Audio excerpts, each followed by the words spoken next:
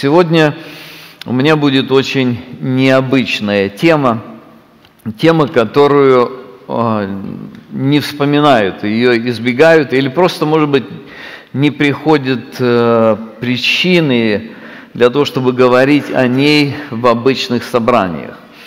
Обычно о смерти проповедуют на похоронах, ну или на memorial service. Вот сегодня у нас будет исключение. Мы сегодня будем говорить о смерти и будем говорить о библейском отношении к нему. Тема моей проповеди «Умереть с упованием». Причина этого в следующем. Дело в том, что Библия об этом говорит – Библия удивительнейшая книга, и чем больше мы ее изучаем, тем больше она, она нас поражает. Она поражает глубиной, она поражает удивительной точностью, она поражает абсолютной гармонией или соответствием тому, того, о чем она говорит, окружающей нас действительности. И Бог позаботился о том, чтобы заложить правильный взгляд на то, что происходит вокруг. И он это делает, начиная с самой первой книги Библии, книга Бытие, которую мы изучаем вот уже пару лет, немножко больше. В этой книге заложены основы мировоззрения, основы, через которые мы, люди, можем правильно смотреть на окружающий мир и таким образом правильно понимать окружающую действительность. Это сверхважно. Книга Бытие неспроста стоит впереди. Ее поставил Бог впереди, в самое начало, для того, чтобы любой человек, который подходит к Библии, он мог, погрузившись в эту книгу, он мог сформировать сначала ключевые базовые взгляды на самые главные вещи. Нам нужно иметь правильное понимание о том, кто такой Бог. Следующее, нам нужно правильно понимать творение, что такое творение. Нам нужно правильно понимать человека – правильно понимать мужчину, женщину, семью, правильно понимать грехопадение, которое привело человечество в то положение, в котором оно находится сегодня. Вот обо всем этом говорит книга «Бытие». И мы очень подробно это изучали вот на протяжении уже, как я сказал, более двух лет. Сейчас мы подходим к концу этой книги. И вот кроме всего прочего, в книге «Бытие» есть место для того, чтобы говорить о смерти, говорить об отношении к смерти. На это есть причина. Смерть – это серьезнейшая проблема всего человечества. Люди обычно избегают темы о смерти как можно сильнее. Везде, где можно избежать эту тему, люди стараются это сделать. Они отодвигают мысли о смерти, они предпочитают не говорить о смерти, пока это не случилось. Вот когда это случилось уже непосредственно в близком окружении, вот там уже люди вынуждены об этом говорить, но, к сожалению, очень часто люди не знают, как к этому подойти, как, как эти проблемы решать. Так, возвращаясь к этой теме, нужно отметить еще одну деталь. В связи с, с очень большой неприятностью темы смерти или с ужасом самой смерти, практически все власть имущие люди во всей истории человечества предпринимали огромнейшие усилия для того, чтобы найти какой-то инструмент, какое-то средство, чтобы победить смерть. И если вы читали э, о разных, разных выдающихся людях, у которых было много власти, они практически все использовали огромные ресурсы, огромные деньги, они создавали специальные медицинские центры, привлекали лучших специалистов, которые могли бы хоть как-то продлить жизнь, отодвинуть смерть, или же еще лучше избавить от смерти. Совсем недавно я прочитал о новых исследованиях. Одна компания предлагает заморозить человека – с тем, чтобы через сто лет, когда уже будет решение, будет лекарство от смерти, будет какая-то такая вакцина или какая-то эликсир, который позволит победить смерть, чтобы потом вас разморозят и этим лекарством вылечат, и вот будете бессмертны. Конечно, никто еще, никого еще не заморозили и не разморозили, Вот, еще это не доказано, что будет с человеком, когда его разморозят. Но, тем не менее, такие компании уже есть, они уже предлагают такие услуги. Все это говорит об одном. Люди страшно ненавидят смерть. Смерть это, ненавидеть смерть это вообще недостаточно сказано, потому что смерть это лишение человека всего. Этот вопрос задавал еще Екклесиаст. Посмотрите, Екклесиаста 5 глава, 15 стих, как он вышел из ногим из утробы матери своей, таким и отходит, каким пришел и ничего не возьмет от труда своего, чтобы мог, чтобы, что мог бы понести он в руке своей. И это тяжкий недух. Каким пришел он, таким и отходит. Какая же польза ему, что он трудился на ветер? Вот в этом еще большая проблема смерти. Одно то, что смерть наступает и лишает человека жизни, а другое то, что смерть лишает жизнь смысла.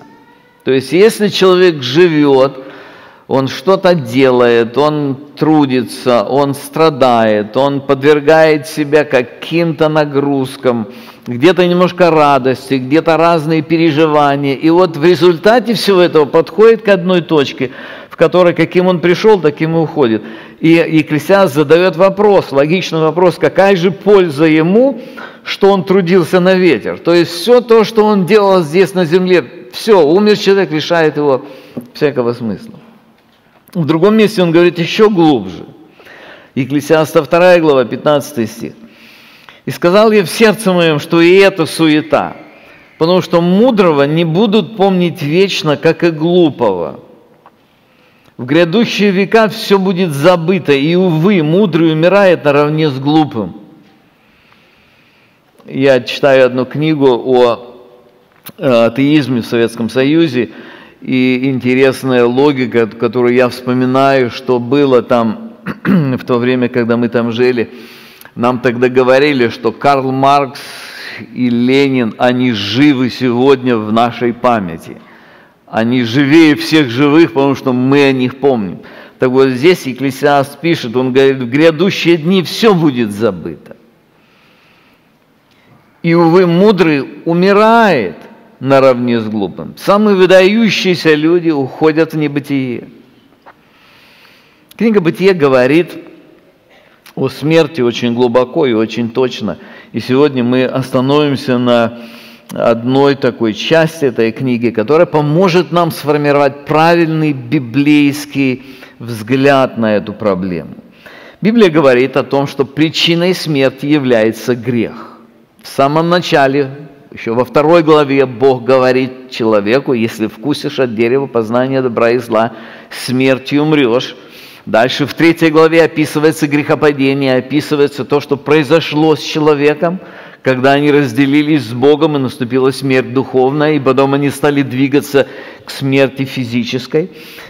Книга Бытия говорит о начале плана искупления, результатом которого стала победа Иисуса Христа на Голговском кресте, когда Он победил смерть, когда смерть уже не имеет власти, она побежденный враг.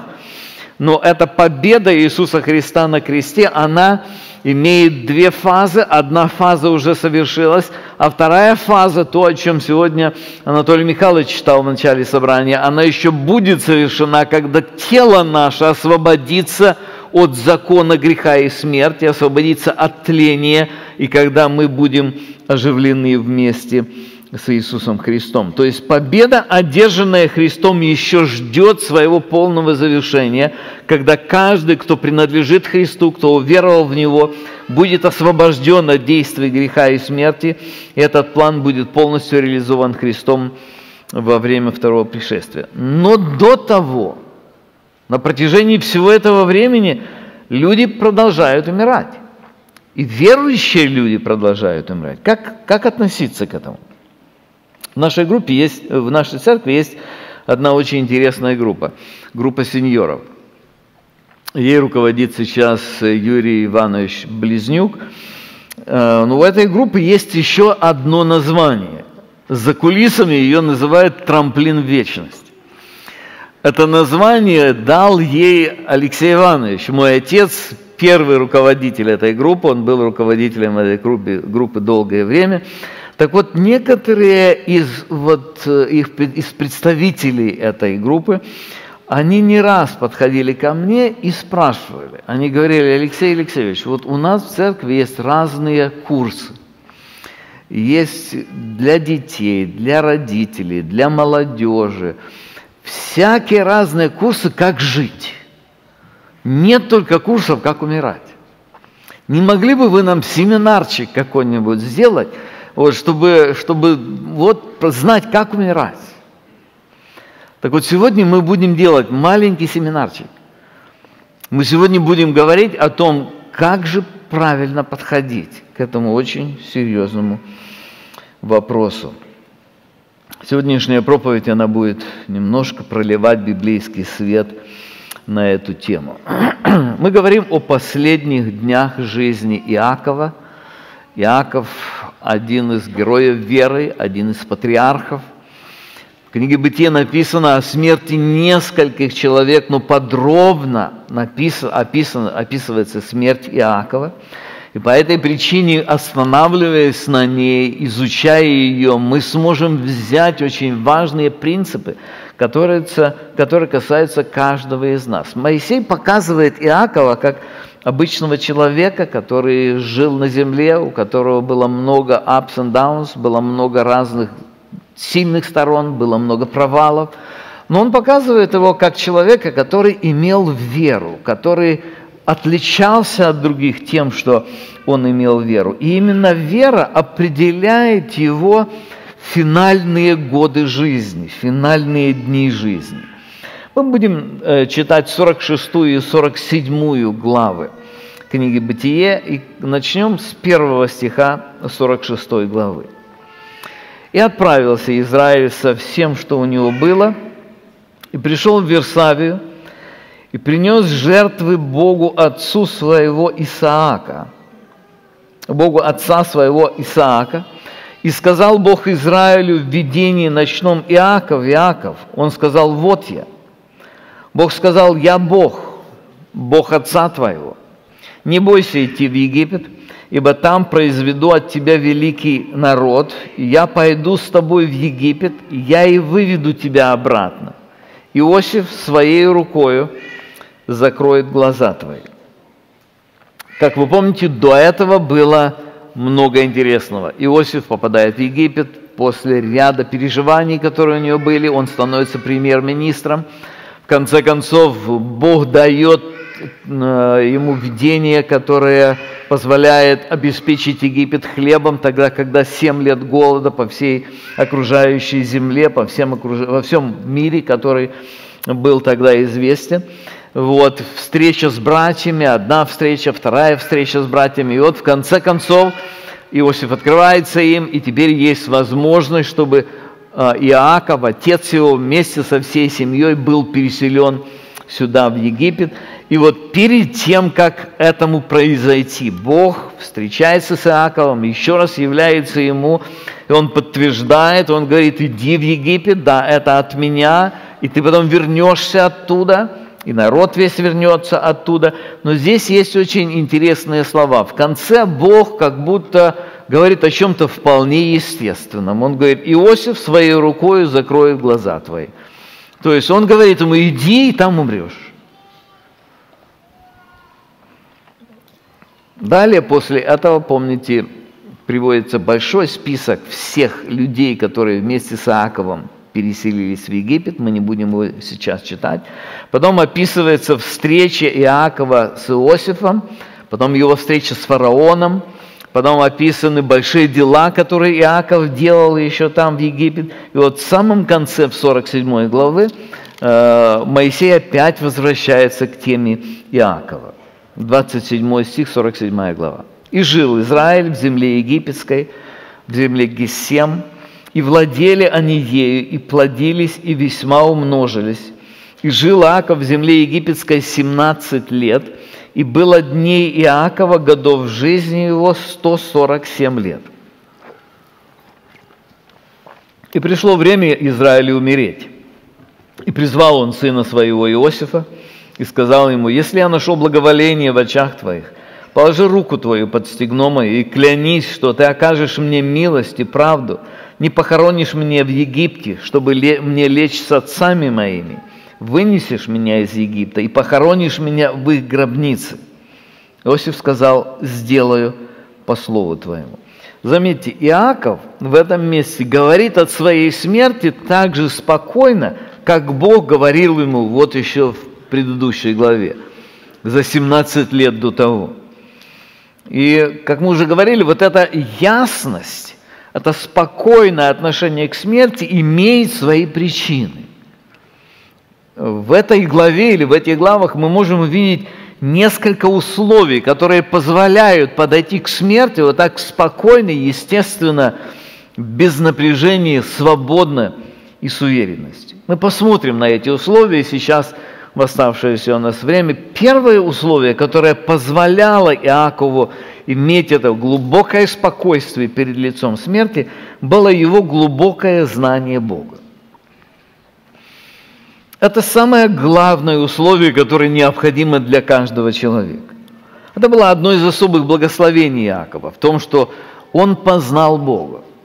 Он познал его через своего деда, Авраама. Бог однажды явился Аврааму. И вот послушайте, и потом Авраам передал эту веру Исааку, своему сыну, отцу Иакова. Послушайте, как описывается эта последняя сцена? 46 глава, 1 стих. «И отправился Израиль со всем, что у него было, и пришел в Версавию, и принес жертвы Богу отца своего Иакова». В этом первое условие правильное отношение к смерти. Люди, которые знают Бога как Творца неба и земли – люди, которые знают его как владыку, в жизни которого жизнь, вернее, в руках которого жизнь и смерть каждого жителя земли, вот эти люди имеют правильную точку опоры. И в этом было преимущество Иакова. В отличие от многих людей, живших вокруг него, Иаков знал Бога. Он знал его через свидетельство своего отца и своего дедушки. Версавия была не просто местом на пути в Египет. Если вы посмотрите немножко раньше, Версавия – это место, которое Авраам избрал после того, когда Бог испытывал его, потребовал от него принести в жертву Исаака. Сразу же после этого он поселяется в Версавии, и он живет там какое-то время, и он устанавливает там жертвенник послуш... Э, поклонения Господу. Это же место было тем городом, в котором Бог подтвердил – свой завет Исааку. Завет, который он заключал с Иаковом, был подтвержден Исааку в явлении Господнем, которое произошло тоже в Версавии. То есть это место было известно Иакову как место особого поклонения Богу. И он идет туда, и вот там, в этом месте, он, он еще раз встречается с Богом. Моисей подчеркивает преемственность. Он не просто говорит, что Иаков принес жертву Богу и Иегове он специально подчеркивает, что Иаков поклоняется Богу Отца своего. Почему он это делает? Потому что именно от Отца он узнал о Боге. Потому что Отец рассказал ему, кто такой Бог. Отец показал, он видел Бога в его Отце. И это дает ему очень прочное основание для того, чтобы правильно подходить к последним годам своей жизни познание о Боге мы можем получать через несколько источников. Мы посмотрим, как это было у Иакова, и сделаем некоторые параллели с тем, как это происходит у, у нас. Самое первое – это знание Бога через свидетельство других людей. Именно это происходило в жизни э, Иакова. Иаков хорошо знал, безусловно, хорошо знал своего отца, и по свидетельству своего отца он очень много знал о, свое, о своем дедушке. Вот как описан первый в Писании разговор Бога с Авраамом. Представьте себе, что до этого не было людей, которым Бог бы открывался.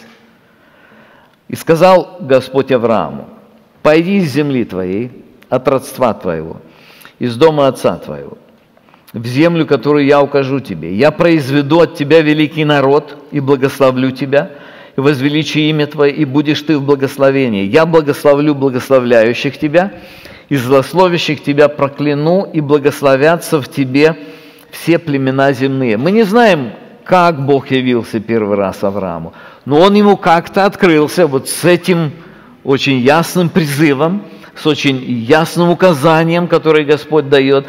И посмотрите, когда Авраам поверил Богу, когда он последовал тому, что Бог говорит, его реакцией на то, что что он видел в Боге, было всегда следующее. 12 глава 7 стих. Смотрите, «И явился Господь Аврааму и сказал, потомству твоему я отдам землю сию, и создал он там жертвенник Господу, который явился ему».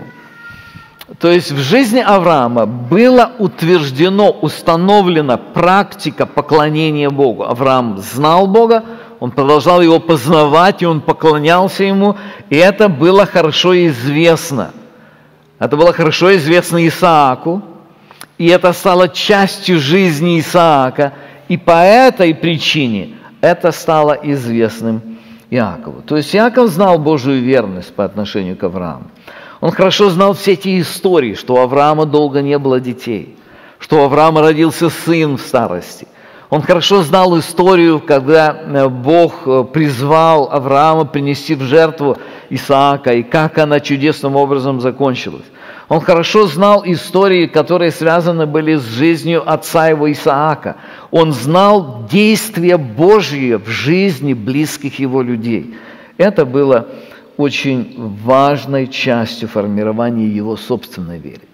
Вот почему Асав в 77-м псалме говорит о очень важной части, э, говорит о том, какую роль родители, деды играют в жизни, в формировании веры их детей и внуков.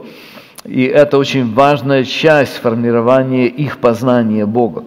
77-й Псалом, 4 стих. «Не скроем от детей их, возвещая роду грядущему славу Господа и силу Его, и чудеса Его, которые Он сотворил. Он постановил устав в Иакове, положил закон в Израиле, который заповедал отцам нашим возвещать детям их, чтобы знал грядущий род, дети, которые родятся, и чтобы они в свое время возвещали своим детям, возложать, э, возлагать надежду на Бога, и не забывать дел Божьих, и хранить заповеди Его. И далее в этом псалме, если вы почитаете, идет длинное перечисление всего того, что Господь делал с Израилем. То есть это первая часть. Когда мы говорим о нашем познании Бога, которое является важным условием для того, чтобы мы могли правильно подготовиться, правильно встретить смерть. Первая часть, как это познание Бога обретается – через тех людей, которые прошли перед нами. Такими людьми могут быть разные люди. Это могут быть вот эти же герои веры в Священном Писании. Это могут быть наши родители. Это могут быть наши деды. Вот почему очень важна связь поколений.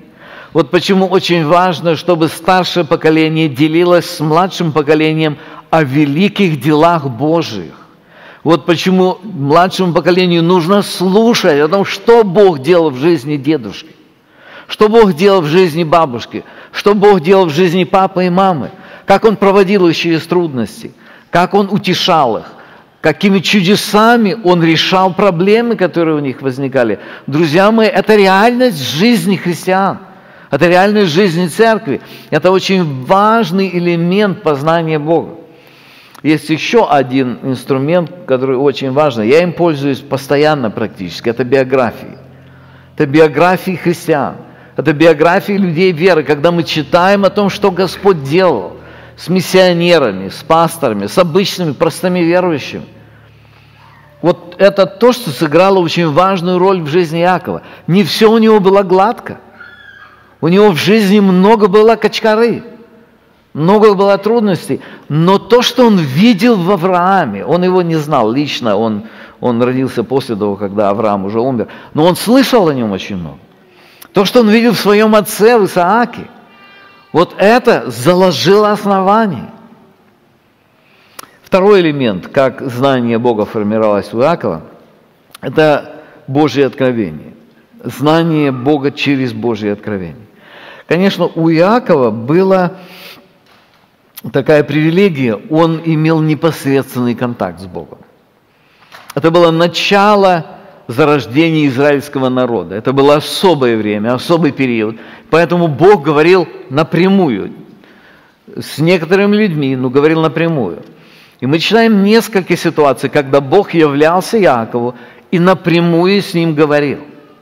И через вот этот разговор Иаков познавал Бога, то есть посредством прямого откровения. Сегодня мы живем в другой ситуации, в другой обстановке, но тем не менее у нас есть более превосходный источник Божьего откровения, который обращается к нам, и посредством которого мы можем знать Бога лучше, чем знал Иаков. Вот представьте себе, Бог являлся Иакову, ну, четыре раза мы можем посчитать. Но, может быть, где-то еще не написано, может быть, еще. Но он являлся ему по конкретным вопросам, в конкретных ситуациях, когда лестница была, помните, когда он э, в Вифиле это было, когда он бежал от брата своего, и Бог тогда являлся, и он ему сказал, что я с тобой, ты часть завета, Авраамова завета, поэтому я с тобой, я тебя не оставлю. То есть это было один раз. Потом мы видим еще пару раз Бог, Бог является и говорит с Иаковом. И нам кажется, ну вот это сам Бог явился, это настолько могущественно. Но представьте себе, что в Священном Писании сказано о Боге намного больше, чем за те четыре раза Иаков мог узнать посредством личной встречи. То есть у каждого из нас сегодня – есть огромная возможность. Вот почему у меня нет этого текста здесь на PowerPoint. Откройте, пожалуйста, второе послание Петра. Второе послание апостола Петра. Апостол Петр говорит о другом опыте. Он говорит о своем опыте, о том, что он когда-то видел. 2 Петра, 1 глава, с 16 стиха он пишет так, «Ибо мы возвестили вам силу и пришествие Господа нашего Иисуса Христа, не хитро сплетенным басням последуя, но бывший очевидцами Его величия. Ибо Он принял от Бога Отца честь и славу, когда от велилепной славы принесся к Нему такой голос, «Сей есть Сын мой возлюбленный, в котором мое благоволение». И этот голос, принесшийся с небес, мы слышали, будучи с Ним на Святой горе – и притом мы имеем вернейшее пророческое слово. И вы хорошо делаете, что обращаетесь к нему как к светильнику, сияющему в темном месте. Заметьте, апостол Петр говорит о своей встрече с Богом, о своей встрече с прославленным Христом, но он здесь называет пророческое слово, то есть священное писание, более верным, вернейшее, наиболее верным. То есть у каждого из нас на сегодняшний день есть точно такие же, даже более доступные инструменты для того, чтобы познавать Бога через Его откровение. Итак, если вы хотите подготовиться к смерти, если вы хотите иметь свободный, простой, уверенный взгляд на будущее, каким бы оно ни было, нам необходимо познавать Бога, необходимо познавать Его через примеры Его действия в людях, необходимо познавать его через откровение. Есть еще третий элемент, который был очевиден у Иакова – знание Бога из личного опыта. Что это значит? Это не то, что мы в личном опыте получаем какое-то субъективное откровение. Это значит то, что мы в жизни своей, проходя разные удачи и неудачи, проходя какие-то взлеты и падения – переживая разные обстоятельства, глядя на то, что Господь делает, глядя на природу, которая нас окружает, глядя на Его работу сегодня, мы можем делать практические выводы о том, кем является Бог. Помните, как это было у Иакова? Иаков знал о Боге много. Но в своих действиях он очень долгое время исходил из своей хитрости. У него не, не, не доставало веры, не доставало упования. И у него было много таких лукавых ходов, путей, в которых Бог останавливал его, учил его, сокрушал его, в которых Бог создавал обстоятельства, в которых трудности были в его жизни. Помните трудности с его братом. Дальше трудности с Лаваном, его тестем. Дальше трудности, когда он возвращается оттуда. Экономические трудности. Потом он, жена у него умирает. То есть очень много разных. Потом дети начинают делать такие вещи, которые приносят его, ему огромную скорбь. И вот во всем этом, через все это человек может или удаляться от Бога, или приближаться к Нему. Иаков приближался к Богу. Иаков мог на практике познавать Бога. Кстати, жизнь каждого из нас устроена Богом так, что в каждой ситуации, каждая ситуация организована как наилучший контекст для возможности познания Бога. Это то, о чем Господь заботится. Все это создало общую атмосферу, в которой Иаков подходил к старой, подходя к своей старости, глядя в глаза смерти, он имел хорошее, глубокое знание Бога, он имел прочное основание, уверенность в том, кто контролирует жизнь и смерть. И эта уверенность необходима всегда, и она крайне необходима тогда, когда человек приближается к смерти. Это ярко видно из свидетельства Иова на смертном одре. Он провозглашает такую фразу, 19 глава, 25 стих. «А я знаю, Искупитель мой жив». Вот это глубокое знание – которая где-то в глубине, в сердцевине лежит. Тело страдает у Иова, но он внутри имеет это глубокое знание, а я знаю, Искупитель мой жив. Об этом же говорил пророк Даниил. Даниил, 11 глава, 32 стих, очень интересный, здесь написано по-русски, но люди, чтущие своего Бога, усилятся и будут действовать. Более точный перевод слова «чтущие», знающие своего Бога люди, знающие своего Бога, усилятся. И вот почему, друзья, объясняя цель и смысл жизни людей на земле, апостол Павел подчеркивал в своей проповеди в Афинах. Деяния апостолов, 17 глава, 26 стих, он говорит, «От одной крови он произвел весь род человеческий для обитания по всему лицу земли, назначив предопределенные времена и пределы их обитанию, чтобы они искали Бога». Это самая главная задача, дорогие мои. Главная задача, главная цель, почему Бог нас создал. Главная цель, почему мы живем сегодня, в каких бы обстоятельствах мы не были. Главная задача – искать Господа, познавать Его, жить им, укрепляться им. Вот тогда мы сможем подойти к финальной точке нашей земной жизни. Абсолютно естественно, абсолютно свободно и абсолютно без страха. Чем лучше вы будете знать Бога, тем свободнее и увереннее вы будете подходить к переходу в вечность. Второе. Второе важное условие, которое мы видим в жизни Иакова, это знание Божьих обетований. Одно дело знать Бога, второе дело знать, что Он хочет, что Он делает, что Он намерен делать, что Он обещал. Вот в жизни Иакова это было очевидно. Иаков имел особую благодать быть соучастником завета, который Бог заключил с Авраамом. Что такое завет? Завет – это Божье обещание. То есть Бог пообещал торжественно, с клятвой, Он пообещал, вот это будет. Иаков знал это. И по мере того, как он знает Бога, верного, сильного, могущественного, любящего – вот тогда понимание его обещаний играет практическую роль в жизни этого человека Иакова. И особенно, конечно, это важно в последние дни его жизни. Это ключевое обстоятельство, играющее роль в отношении людей к смерти. Вот, вот что знал Иаков – об обетованиях, которые Господь дал ему. Бытие 17 глава описывает это подробно, хотя об, о завете и об обетованиях, которые Бог дал Аврааму, Исааку и Иакову, много сказано в этой книге. Мы прочитаем только один отрывок. 17 глава, 1 стих. Авраам был 99 лет, и Господь явился Аврааму и сказал ему, «Я Бог всемогущий, ходи предо мною и будь непорочен, и поставлю завет мой» между мной и между тобой. Это очень важная деталь, друзья. То есть Бог дает конкретное обещание и подкрепляет его заветом, договором. Ходи предо мною, будь непорочен, поставлю завет мой между тобой, мной и тобой, весьма-весьма размножу тебя. И пал Авраам на лицо свое, Бог продолжал говорить с ним и сказал, я вот завет мой с тобой. Опять повторяет слово завет. Четвертый стих. Я вот завет мой с тобою. Ты будешь отцом множества народа. И не будешь более называться Авраамом, но будет тебе имя Авраам, ибо я сделаю тебя отцом множества народов.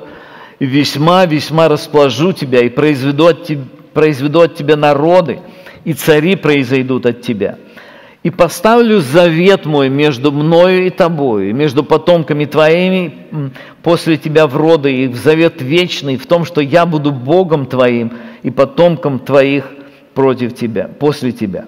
И дам тебе и потомкам твоим после тебя землю, по которой ты странствуешь, всю землю ханаанскую во владение вечное, и буду им Богом. То есть заключает завет Бог с Авраамом, и в этом завете он пообещал, что он будет его Богом, и он будет Богом его потомков, и этот завет вечный.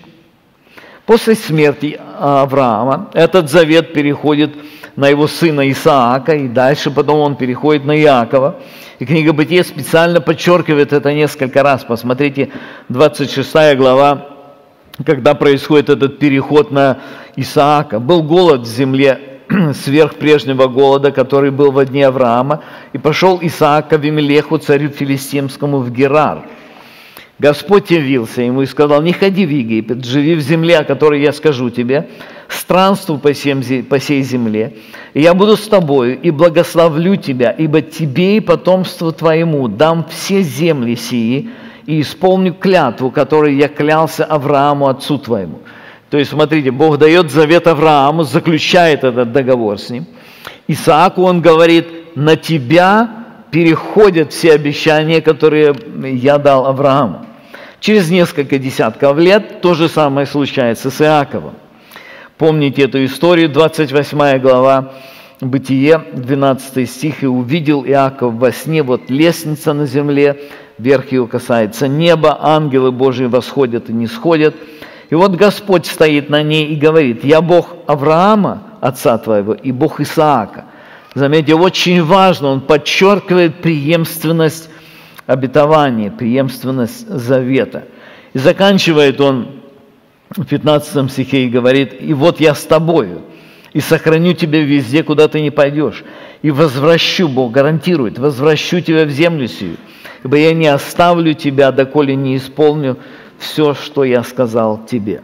То есть суть Божьего завета в Божьем обетовании. Бог дает обещание, участие в Авраамовом завете гарантирует Иакову то, что эти обещания будут касаться его конкретно. Более того, из Божьих обещаний, данных Аврааму, Иаков знал, что его потомки будут жить в чужой земле на протяжении 400 лет, и после чего они выйдут оттуда, вернутся – Бытие 15 глава 13 стих мы читаем, «И сказал Господь Аврааму, знай, что потомки твои будут пришельцами в земле не своей, и поработят их, и, будет, и, и будут угнетать их 400 лет. Но я произведу суд над народом, у которого они будут в порабощении, после всего они выйдут с большим имуществом». То есть, посмотрите, у Иакова есть очень прочный фундамент. Он знает Бога, он знает, что Бог обещал. И он знает конкретно, что Бог обещал, что этот народ, его потомки, они будут 400 лет жить в земле не своей. И потом оттуда Господь выведет их. И вот с этой точки зрения, вернее, в этой позиции он находится, когда он уйдет в Египет, зная обо всех этих обетованиях. Зная Божьих, знание Божьих обетований и причастность к ним очень важное дело – я попробую это проиллюстрировать на примере банка. В банке есть деньги, ну, обычно в банках, в банке как финансовая организация. В некоторых банках нет денег, в стеклянных. В банке есть деньги, деньги, которые дают взаим. Для этого существует банк. Для того, чтобы давать деньги взаим люди могут получить оттуда деньги, могут в действительности получать сотни долларов, сотни тысяч долларов. В действительности при нынешних ценах на жилье, то, наверное, никто, кто идет в банк для того, чтобы взять ипотеку или моргач, и не, не, не рассчитывает на меньше, чем сотни тысяч долларов. То есть банки дают сотни тысяч долларов. Но они дают на определенных условиях. То есть у них есть их обетование, у них есть их обещание. То есть они говорят, да, мы дадим деньги. Но дадим, если есть кредитная история, если есть доказанная платежеспособность, если дом, который вы покупаете, действительно стоит того, что... И другие, там много разных условий. Вот, кстати, почему существуют в фирме специалисты, которые хорошо знают эти условия, вы к ним приходите, и вам помогают взять этот заем в банк. Вот теперь представьте себе любого человека, который приходит в банк и просто говорит, я хочу 300 тысяч долларов. Ну, просто так его надежда не имеет основания. Его упование на этот банк, на эти деньги, они просто окажутся мыльным пузырем. Почему? Потому что им никто не, ему никто не обещал эти деньги. Банк действительно рекламирует даже и говорит, я дам, мы дадим деньги, но только тем, кто соответствует вот этим условиям. Вот что-то подобное происходит с людьми, которые смотрят вперед, когда они думают о своем смерти. В принципе, всех людей в этом отношении можно разделить на три категории.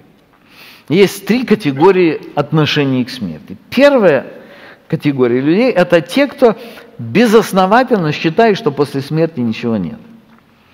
Таких людей в мире меньшинство – это небольшая сравнительная группа, которые просто отметают мысль о смерти, и они говорят сами себе, да, живет человек, ешь, пей, веселись, завтра умрешь, там ничего нет. Мы не знаем, что там. Оснований, что там ничего нет, у них нет. Доказательств этого у них нет. Нет никаких доказательств, они не обладают какими-то доказательствами, чтобы доказать, что там ничего нет. Вторая группа людей, которая, я думаю, самая большая группа людей в мире, это те, кто безосновательно считает, что Бог примет их к себе. То есть эти люди, они понимают, что очень трудно отрицать загробную жизнь, вот, и они понимают, что после смерти им придется встретиться с Богом, но у них нет достаточно оснований, чтобы быть уверенными в том, что Бог их примет к себе. То есть они действуют примерно так. Ну, мы вели неплохую жизнь, и, наверное, Бог должен это как-то учесть. Или другие говорят о том, что Бог милостив, ну пострадаю я какое-то время за свои грехи, отстрадаю, и потом Бог меня в конце концов простит и примет. То есть у людей есть самые разные теории, а некоторые просто на авось живут, и они просто говорят, да как-то там уладим. То есть они думают, что Господь есть, они признают, но они решают свои проблемы безосновательно. Это все равно, что люди, которые думают, что банк им даст деньги, но которые совершенно не заботятся об основаниях для того, чтобы это произошло. Есть третья категория. Это люди, которые имеют веское основание на то, что когда они умрут, Бог их примет. И это очень серьезное основание. Для этого нужно иметь прочное основание. Опять-таки, если в банке для того, чтобы дать вам несколько сот тысяч долларов, вот такую пачку бумаг заполняют, и не только это же, когда вы ее подписываете, эту пачку бумаг, каждая из них что-то значит, кто-то эти бумаги перепроверял – для кого-то эти бумаги что-то имеют очень существенную роль играют, существенное значение, то насколько важнее вопрос вечной жизни, вопрос взаимоотношений с Богом, с судьей Вселенной. Какие обетования важны для верующих в этом отношении? Есть несколько ключевых, очень важных, без которых наша надежда, наше упование – на то, что мы, э, переходя в вечность, будем иметь, э, будем приняты Богом. Без этих э, обетований наше упование будет тщетным. Самое известное упование Иоанна 3,16. «Ибо так возлюбил Бог мир, что отдал Сына Своего Единородного, чтобы всякий верующий в Него что? Не погиб, но что? Имел жизнь вечную. Мы настолько привыкаем к вот этим текстам, которые очень известны, что они перестают быть для нас вескими. А это сверхважное, практичное основание. Когда человек подходит к смерти, а вы знаете, смерть, она наступает у всех, на земле стопроцентная смертность, она только в разное время. Некоторые, вот подобно Иакову, дожили до длинно, до, до очень таких преклонных лет, а некоторые намного раньше умирают. И поэтому вопрос веры в Иисуса Христа – это вопрос жизни и смерти для каждого человека. Ибо так возлюбил Бог мир, что отдал Сына Своего Единородного, дабы всякий верующий в Него не погиб. Вот почему мы обращаемся отсюда каждый раз, и сегодня еще раз обращаюсь ко всякому человеку, который сидит сейчас здесь. Есть ли у тебя вот эта вера живая? Вера в Иисуса Христа. Речь не идет о принадлежности к церкви, речь не идет об исполнении традиций. Речь не идет о чем другом. Речь идет о твоем, дорогой друг, отношении с Иисусом Христом. Дабы всякий верующий в Него не погиб, но имел жизнь вечную. Это обетование. Если у человека есть живая вера в Иисуса Христа, это самое важное, что может быть. Самое важное. Самое главное, что нужно для того, чтобы человек мог правильно подойти к вопросу вечности. Несколькими главами ниже Иисус повторяет эту же истину немножко детальнее.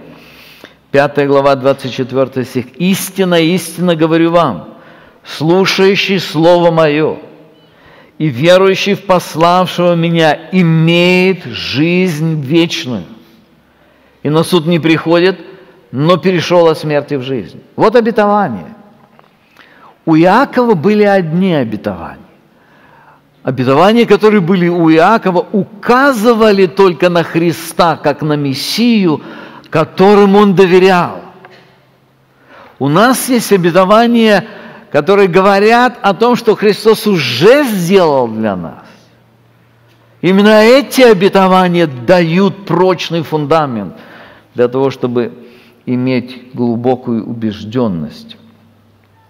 Все, кто принял Иисуса Христа Господом и Спасителем, имеют уверенность в том, что Он победил смерть, и что эта победа обязательно распространяется на всякого верующего в Иисуса Христа. Писание об этом говорит много раз. Я приведу несколько текстов, опять-таки перечисляя обетование.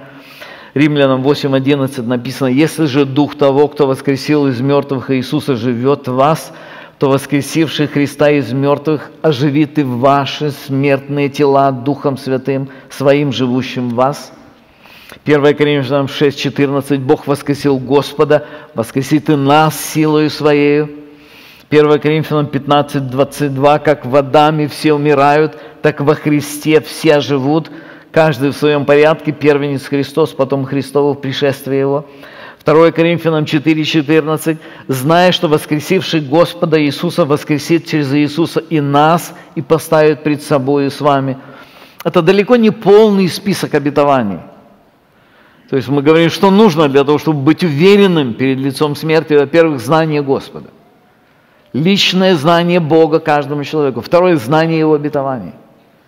Зная, знание то, что Он обещает, конкретно обещает – он обещает для того, чтобы дать нам фундамент жизни. Вот почему верующие первых веков, которые, которых убивали миллионами, вот почему они так свободно, так твердо и с радостью шли на костер.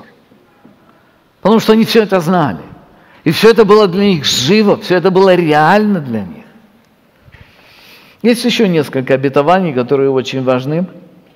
Я встречал людей, которые говорят, я, в общем, не сомневаюсь, что я буду с Господом, но вот сам вот момент перехода, что, что будет происходить? Мы знаем, что будет происходить. Мы знаем, Иисус Христос говорил об этом. Евангелие от Луки, 23 глава, 43 стих, Он говорит, обращаясь к разбойнику, который покаялся на кресте. Помните, что Он говорит ему там? Иисус сказал ему, истинно, истинно говорю, говорю тебе, ныне же будешь со мною в раю. То есть сразу после того, когда человек переходит из этого мира в другой мир, он встречается с Иисусом Христом. Писание говорит так. Есть еще одно обетование, которое говорит о том, что будет сразу после перехода. 2 Тимофею, 4 глава, 7 стих, апостол Павел пишет о себе. Он говорит, подвигом добрым я подвязался, течение совершил, веру сохранил, а теперь готовится мне венец правды, который даст мне Господь, праведный судья в день онный, и не только мне, но и всем возлюбившим явление Его. То есть речь идет о том, что все люди, которые, все христиане, все верующие, после того, когда они встречаются со Христом, они получают награду от Него. Причем эти награды будут разные. В другом месте апостол описывает это. 2 Коринфянам 5.10. «Ибо всем нам должно явиться предсудилище Христова, чтобы каждому получить соответственно тому, что он делал, живя в теле, доброе или худое». То есть речь идет о всех верующих людях, всех спасенных Христом, которые предстают перед Иисусом Христом после того, когда они умирают, для того, чтобы получить что он делал, живя в теле, доброе или худое.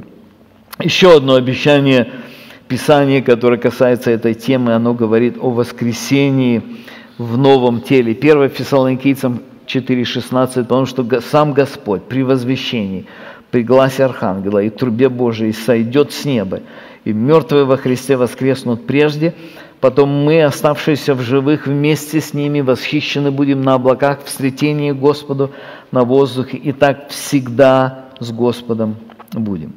Это только некоторые из Божьих обетований, которые очень важно знать. Очень важно знать обетования, на основании которых мы живем. Ну вот здесь есть ряд обетований, на основании которых мы умираем. И Библия говорит об этом – и Библия снаряжает людей для того, чтобы христиане могли знать это, могли жить этим, могли иметь эту готовность. Как мы уже говорили, что главное здесь – это участие в Новом Завете. Вот подобно тому, как Бог пообещал Аврааму и сказал, твои потомки – часть этого благословения. Вот точно так Бог пообещал Иисусу Христу, и Он сказал, что все, кто в тебе, они имеют часть в этих благословениях. Здесь мы подходим к еще одному последнему условию, которое мы видим в жизни Иакова. Он не только знал Бога, он не только знал Божье обетование, но последнее он практически доверял Божьим обетованиям. Давайте еще раз посмотрим на то, как Иаков относится к тому, что происходит, когда он приближается к смерти. 47 глава, 7 стих, Иаков говорит о своей жизни фараону. И привел Иосиф Иакова, отца своего, представил его фараону, и благословил Иаков фараона. Фараон сказал Иакову, сколько лет жизни твоей? Иаков сказал фараону, дней странствования моего 130 лет. Малые несчастные дни жизни моей. 130 лет прожил человек, он говорит, что мало, но он говорит дальше, причина почему, не достигли до лет жизни отцов моих во днях странствований. Скорее всего, он уже чувствовал себя слабым в этот период. Э, он после этого прожил, прожил еще 17 лет. То есть Иаков прожил 147 лет, тогда, когда Авраам прожил 175 лет, а его отец Исаак прожил 180 лет. То есть в сравнении с другими он прожил не так много, и он говорит несчастный, он называет несчастные дни жизни моей. В действительности он много пережил переживаний, очень много трудностей. Последний с Иосифом. Последние вот эти годы, когда это было 13 лет, когда не было известно о судьбе, или он думал, что Иосиф погиб.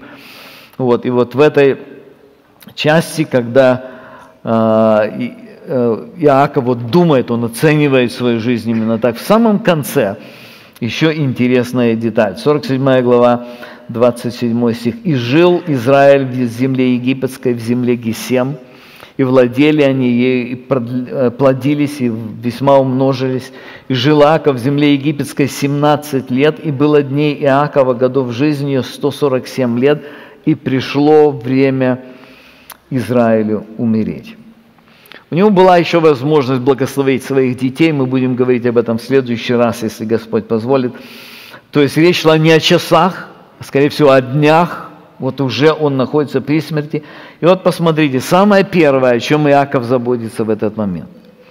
29 стих. «И призвал он сына своего Иосифа и сказал ему, если я нашел благоволение в очах твоих, положи руку твою под стегно мое и клянись, что ты окажешь мне милость и правду, и не похоронишь меня в Египте, дабы мне лечь с отцами моими, и вынес, вынесешь меня из Египта, и похоронишь меня в гробнице, в их гробнице.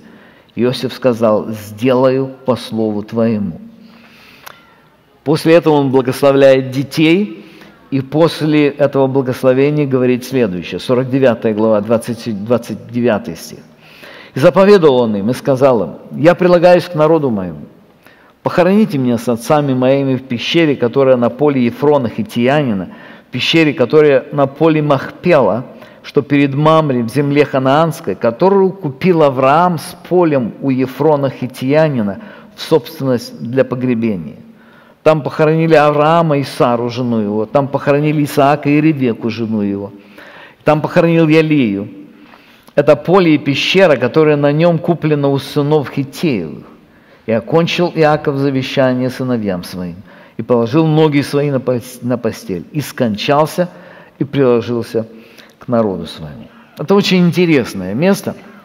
Дело в том, что место для погребения Авраам купил у сынов Хетовых, если вы помните. Мы об этом говорили подробно. И он купил это как выражение своей веры.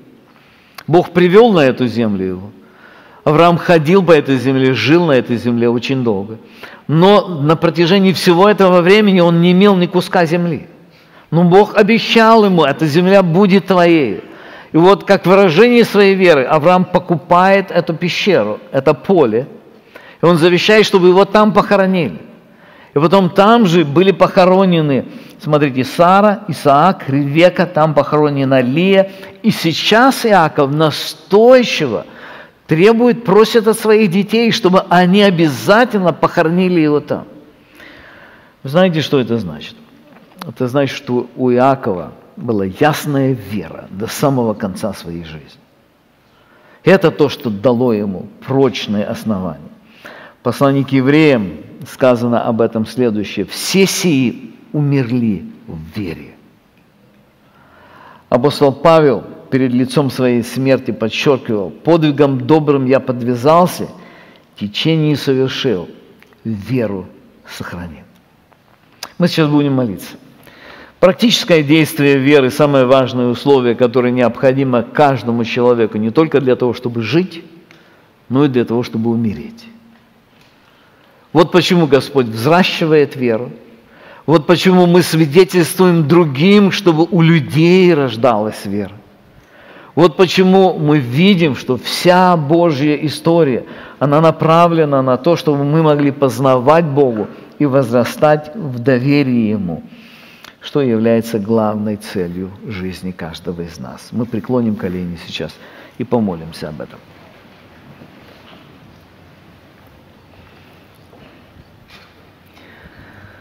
Господи Боже наш, мы благодарим Тебя за Твою великую любовь к нам – Благодарим Тебя за действие благодати, которое совершенно незаслуженно привело нас к тому, что мы познали Тебя через Господа Иисуса Христа.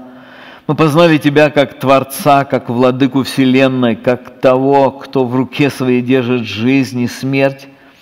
Мы благодарим, Господи, Тебя за то, что сегодня мы можем доверяться Тебе и уповать на Тебя. Благодарим Тебя за живую, спасающую веру. Благодарим Тебя за Твои обетования, которые Ты оставил для нас. Благодарим Тебя за то, что мы можем полагаться на эти обетования, приходя к Тебе. И сегодня, Господи, когда мы смотрим на пример вот этого человека веры, которого Ты поместил, историю, которую Ты поместил на страницах книги «Бытие», Сегодня, Господи, мы видим не только его жизнь, но мы видим его подход к смерти. И мы просим Тебя, благослови каждого из нас. Я прошу Тебя, Господи, за каждое сердце, находящееся здесь. Ты видишь, Господи, что мы нуждаемся в Тебе, мы не можем жить без Тебя, и тем более не можем без Тебя умирать. Я прошу Тебя, благослови, Господи, и молодых, и старых. Укрепляй веру нашу. Помоги, чтобы вера наша стала живой и действенной в любой, действенной в любой момент нашей жизни. Помоги, Господи, чтобы мы, зная Тебя, мы могли наслаждаться Тобой, мы могли жить для Тебя, и мы могли ожидать встречи с Тобой. Чтобы эта встреча была так же реальна для нас, как однажды мы встретились с Тобой, обратившись от наших грехов. Чтобы эта встреча с Тобой была так же желаема для каждого христианина и каждой христианки. Благослови нас сегодня. Продолжай утверждать нас силой Духа Твоего Святого через Слово Твое. Помести это Слово в сердце, в жизнь каждого из нас, чтобы оно принесло добрый, добрый плод. Во имя Иисуса Христа просим Тебя об этом. Аминь.